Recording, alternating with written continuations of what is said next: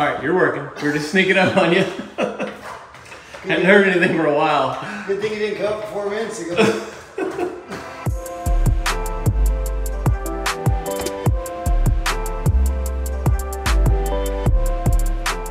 We are back at Jaime's shop. As you can tell by the smooth jazz going in the background again. We're gonna paint out some of these railings and he's gonna finish welding. I think that's being played. We're gonna start with these upside down to make sure we get the bottoms of everything really good and then we'll flip them right side up is our game plan. And we're gonna have to move that trailer. Yeah, it does Jaime threw some bad. trash in the in the trailer over here and it smells like like roadkill. I think exactly like roadkill. Really bad. Yeah. Might need to wipe these off real quick. There's a little dust just from sitting in the shop. Sorry about that. Oh god, it is bad.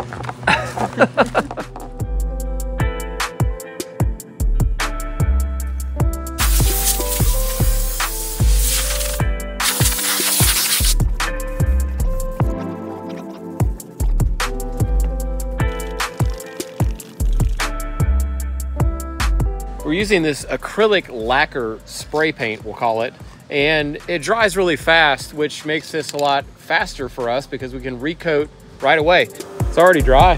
It says no recoat window, which has nothing to do with windows. It means that if you read that, you're like, what? Why, why on windows? Don't recoat your window. No, it means you don't have to wait any amount of time to recoat it because it dries like instantly almost. So uh, with this, we're not gonna have to do the usual clear top coat, is that right? That's my plan. I've been searching for the perfect finish. I don't know if this is it, but my understanding is it is a color and a finish all in one. Okay. And it's interior, exterior, it's automotive. So if it can go on a motorcycle or a car, I think a handrail is okay. Yeah, and we have no affiliation with this stupid color or whatever, but Jaime says it's gonna be the trick. We'll see. It does look good.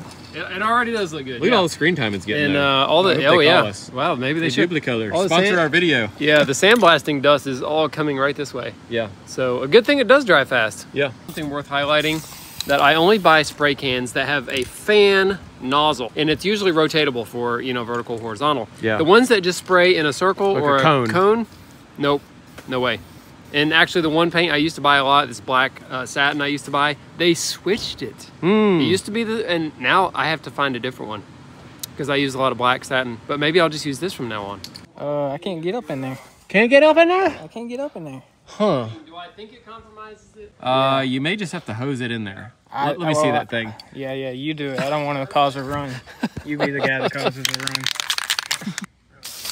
oh, did you do it? Almost here. I think we're okay. Yeah.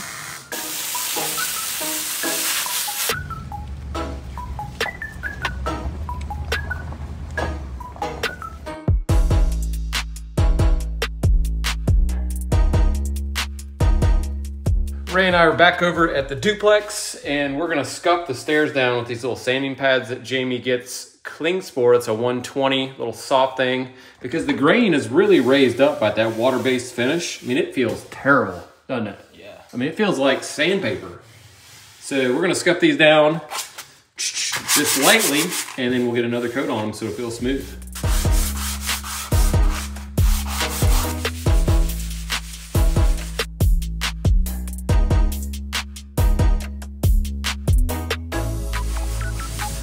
That's the only way to really tell if you're done with this is just to feel it.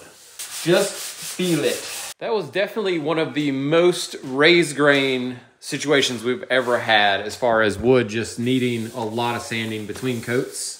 Um, so I don't know if it was this particular oak or what, but our pads are shot. Like we need new pads after one set of stairs there.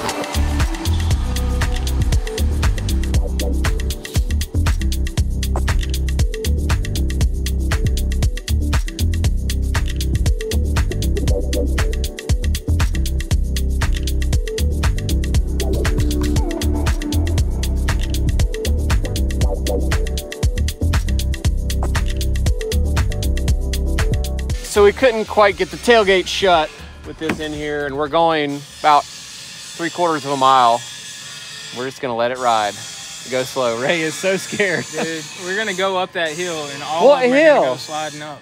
The one that turn right and then you go up the hill. It's barely a hill. I'm not gonna let it fall out, man. If you're not worried about it, why are your your emergency lights on? it's an emergency if we drop these railings. So I'm checking out this cove molding that Jaime bought this morning that's gonna go at the bottom of each tread to cover any little gap there. I'm gonna pre-paint it so that once it's installed, I can just pin nail it, it's done. But I'm gonna make some sort of jig to paint it. It won't lay flat because it's like a 45 and the surface I want is a top. See what I can come up with.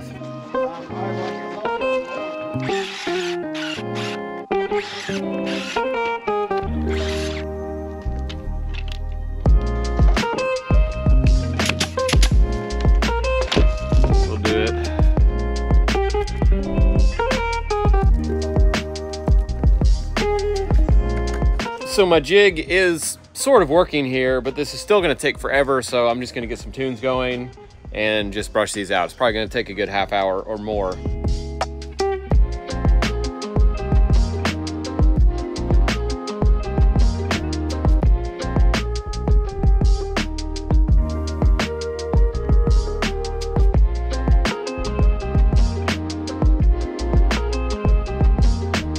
A really important thing I'm doing to make sure the surface of this has a good paint job is to brush the back of it. You can see after painting the surface, the back has this little lip around of paint, and that's gonna basically keep it from going tight to the wall or tight to the cove it's going in. So I'm taking the brush and I'm brushing that smooth on the back side. But when I do that, it kind of makes a little lip on the front side. So I gotta flip it back around after doing that. And you can see right there what I'm talking about, that little bit of paint.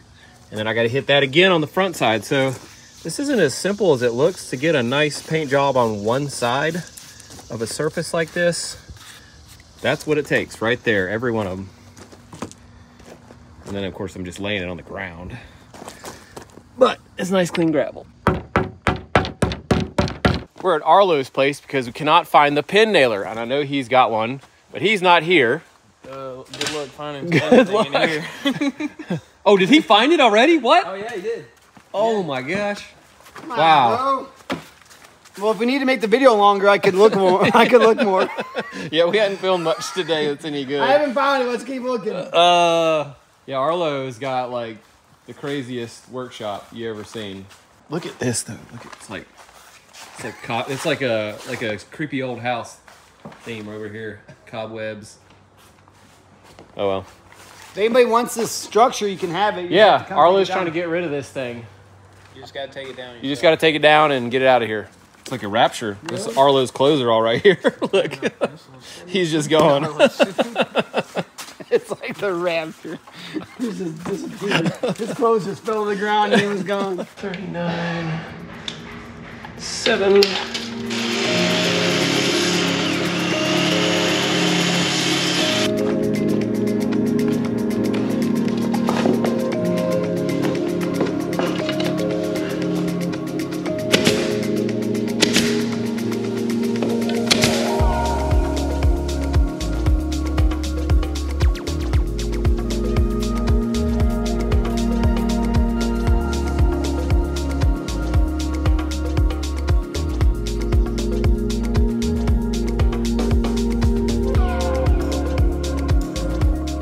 You're trimming this out? No. Dude, do you know how much time they spent I know. on this staircase? I know. I'm, And then they're letting you just come in and hack up the trim? I'm kind of shocked myself that they're letting me do like the finishing touches. I mean, I'm doing a good job and I'm doing it really fast. too. That's- yes. I mean, I'm like 30 minutes. I did this whole thing. Yeah. So- I mean, it looks like it, but that's good. It looks good, but yes. After Arlo and Jaime spent weeks on this, they're letting me do the finishing touches. Yeah, that's- incredible. you know, you've heard of six man abs. This is 30 man trim with Eric Perkins. They must have been really tired of these steps. Yeah, you gonna paint them too? I already painted them. I painted them before I put As them in. As is in, that's it? That's it. No. Yes. We're not. This is my Yeah, trim job. Yeah. baby! Right on. Believe it.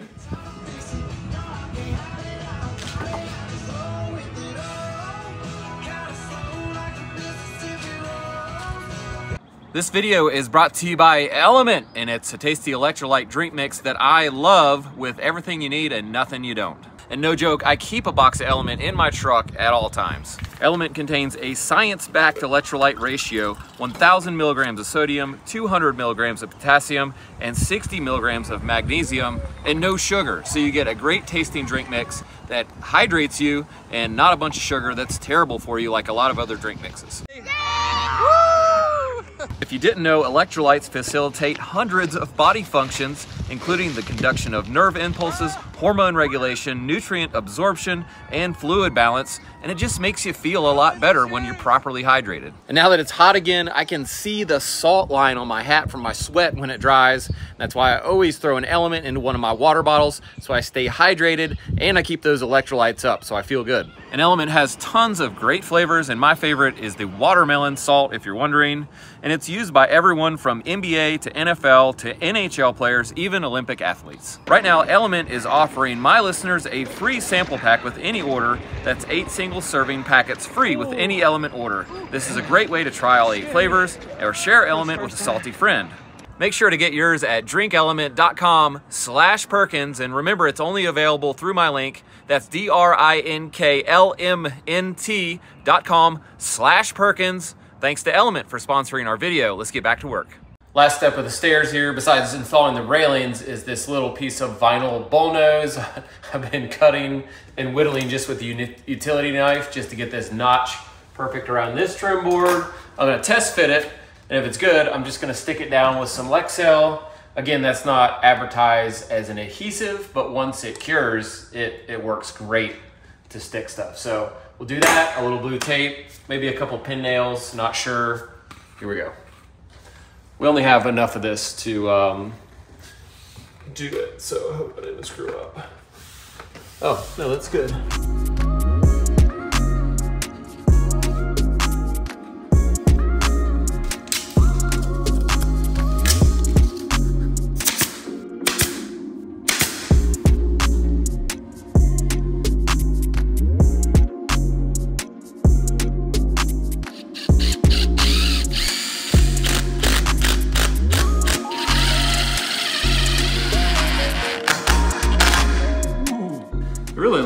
Screw. Dude, we should just put one in. Yeah. That's it. Jaime comes back and he's like, bro, Eric said I only needed one screw. We'll just paint all the other holes black so it looks like there's screws in them. We are back on site this morning, and I just recoated the top of these. Were you gonna touch them? Yeah, Because it was a little rough. You brought them outside, right? Jaime wanted you to take them off. No, no, no, no, no. Jaime was on the phone with me trying to tell me how to do it, and like where to set them and what grit sandpaper. By the time he was done talking, he didn't know it, but it was already done. I like literally just scuffed it and then used the shield, did it in place. It Took me like It looks great. three and a half minutes. Final handrail going in. Sorry, railing. This is not a handrail. Oh, Handrail's it's a- gonna be in yeah, right, right. It's a guard rail. I guess center up, center, center. Ooh. Hey, oh, Okay. hey ho. How's it look? Uh, well, Touching yeah, it more? well, I need to move way over down here.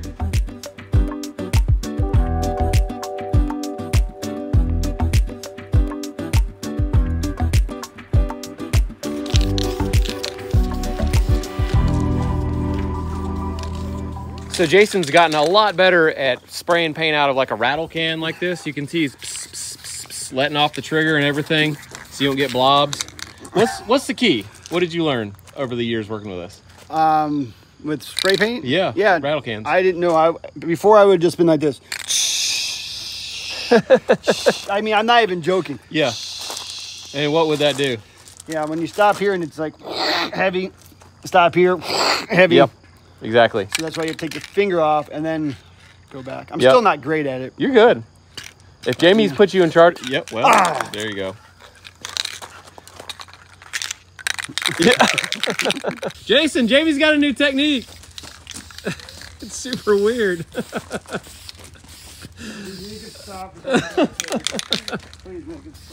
Whoa! I'm installing these doorknobs, and for whatever reason, every one of these latch plates, like this part, will not go all the way into the routed out part on the jam. See that? Yeah. So what I'm having to do is take my drill and like drill a slot. Like, Dude, that's not your repertoire, is it? dude, that's what I'm doing. So I'm just like taking this thing and Just like drilling.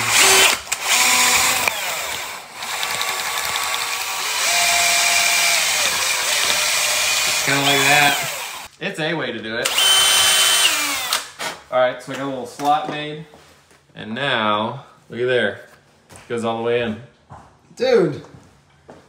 Wow, you are good at this. I mean, we do give him crap, but he really is. He really does know his stuff, and he does do a great job.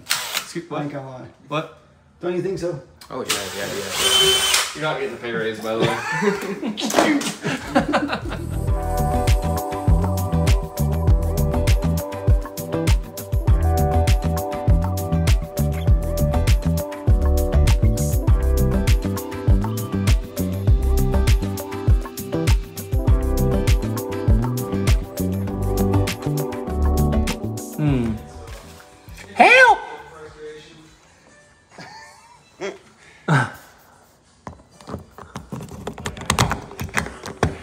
there you go. Maybe just leave that in here. Uh, well, I might need it out there too. Huh. Maybe we should just put it back on. I gotta paint that in a second though. Yeah, no, I won't. Uh, Jaime was down there filling all those pinholes with paint on the stairs. So I'm buying you lunch again. I told you he was gonna film, dude. You don't know. Well, I don't know. He technically didn't fill them. He painted. He I guess- painted them. But you said you weren't gonna do anything to him. Right. He painted Oh, every- I didn't do anything. So maybe I didn't He lose. painted every one of them. Yep. He just let the paint go in those little pinnail pinnail holes. He's down there with a brush like this wide. he said I did a great job too. He did. Yep. 30, 30 minute trim with Perkins. Yeah.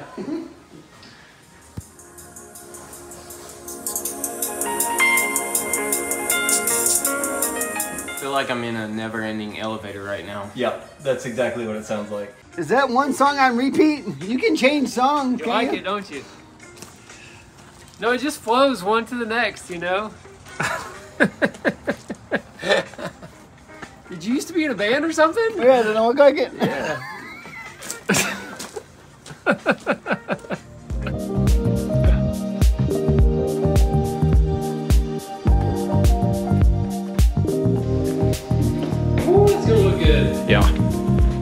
time to install these metal handrails, and there's a few things that I'm really concerned with. One, it has to be perfectly parallel to the existing railing that we put in, so when you sight across them and you line the two up like this, they look exactly the same. The second thing is I don't want to scuff the wall up a lot, and this thing is kind of heavy and awkward shaped, and so when we hold it in place, I don't want to be dragging it up and down the drywall because it's black and the paint is white and it's going to leave scuff marks everywhere. I've devised a way, I think, to make it easy. And what I've done is I cut some pieces of plywood that I'm going to rest it on that actually project perpendicular to the angle of the stairs and rest on the stair nosings. Now I established that height by the rail that already is in there, so I had something to go by. Then it took three of us to hold this thing in place. Four would have even been better. It would be terrible to do it by yourself. We did one and it went okay, so let's show you how we're gonna do the second one. Our plywood spacers take care of the elevation up and down, but what about in the left and right direction? Well, I decided that I could use this laser and actually align it with the position of the skirt board that I want the bottom of the handrail to align to, and I'll have a line on the wall that I don't have to draw with a pencil or use any painter's tape because a lot of times it'll peel the paint right off the wall, and this wall is already finished painted, so the least amount of damage we can do, the better. My favorite part really of these metal handrails is that at the return where the handrail goes back to the wall, it has like a bolt flange with four screws. So even if one of those screws misses or something like that, you still got a chance, three more tries to hit some blocking. And I actually missed one in here. Don't tell the homeowner. One of them missed, so I had to use an anchor. But the other one's hit, so don't worry, it's plenty strong. Out in the middle of the field, this thing is 15 feet long. I used four additional handrail brackets that you can just buy at the store, screwed them to the wall, screwed them into the bottom of the metal, and it's very strong. All right, I just got off the phone and I come to the guys and they're like, oh, we've been filming here. So I'm like, sorry about whatever it is you just watched. what are you doing? Uh, we got a lot of good footage. Um, quite a bit of me talking about stuff and explaining All you right. know, what I like about handrails. There's more. Um, but We don't have one of a handrail going in. Okay, yet, that's what we need to That's do. what you need to film for us. Okay. We did one side. It, it actually it was exciting. I wish we had filmed all of that one. Yeah. All right. We learned stuff, Okay. and now this one's gonna go real smooth. All right, I'm here. Let's do it. And we know that Jaime does. Um, he works out Monday, Wednesday, Friday. Does chest and back, buys and tries. We got his whole workout. Okay. routine. Yeah. Yeah. Pull down. Is this going in the No, house? you Is this can- going in the house anywhere? Uh, you need to step in and do some filming. I don't want him to hear me, but you need to step in. What are we doing? You got the laser out? All right. don't even know, All right. Yeah, yeah. Yeah, no, we got to figure it out. I'm aligning the laser right down here with the corner of the skirt board where I took my measurement for the length of the handrail. See that right there? I do see that. Okay, let me move it away. Boom, right there, vertical.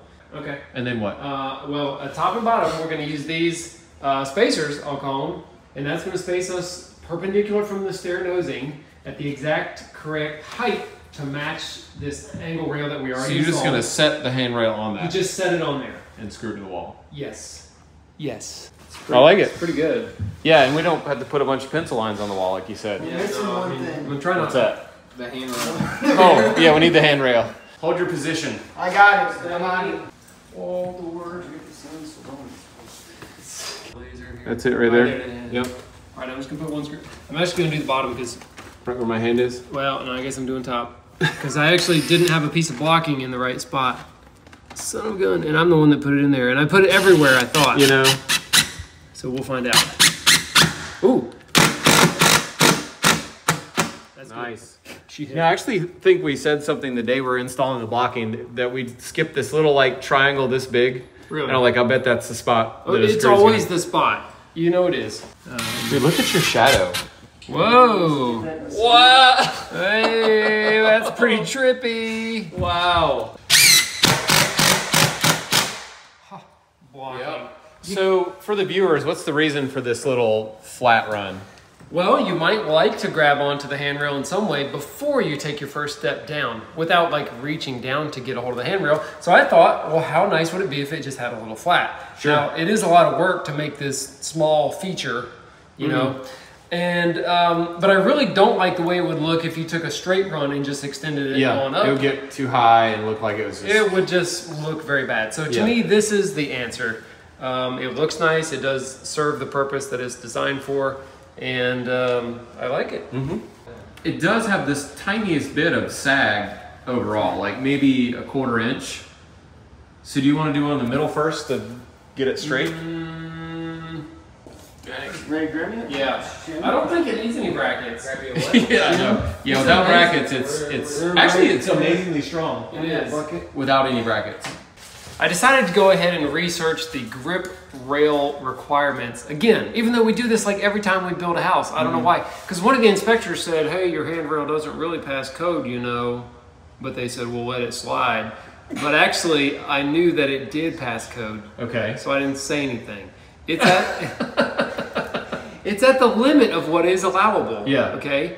Uh, which is two and a quarter of an inch diagonally through a rectangular shape like Okay. this. Yep. That's exactly what this measures. Okay. And No, I think it feels good. no greater than six and a quarter in the circumference. Okay. Or the perimeter, the outside, yeah. and an inch and a half minimum space off the wall, four and a half maximum off the wall. Okay. So you got so inch that and a half, all fits three and a half. It Yeah. all works out. And it feels really nice. I mean, if you had like really tiny hands, that might be a little large, but you could still grab it. If anything, I wish it was yeah a tiny bit smaller, but this is the only common size I can buy. Yeah, a one inch by one inch tube would would be too small. Like one by one and a half might be good. Yeah. But this this looks so good it does. and it passes. Well, it's nice to have four hands, isn't it? I mean, it beats doing it by yourself, that's for sure. It can be done.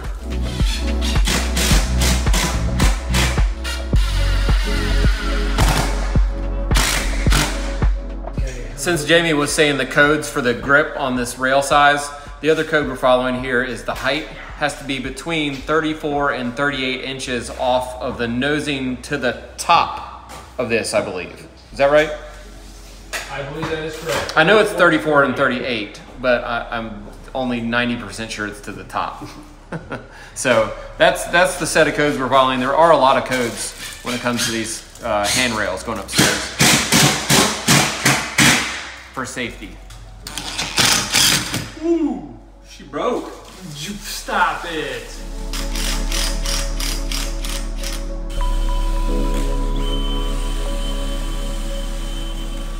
How's she feel?